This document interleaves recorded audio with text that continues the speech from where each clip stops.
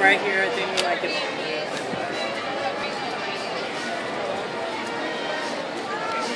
It's pictured in so.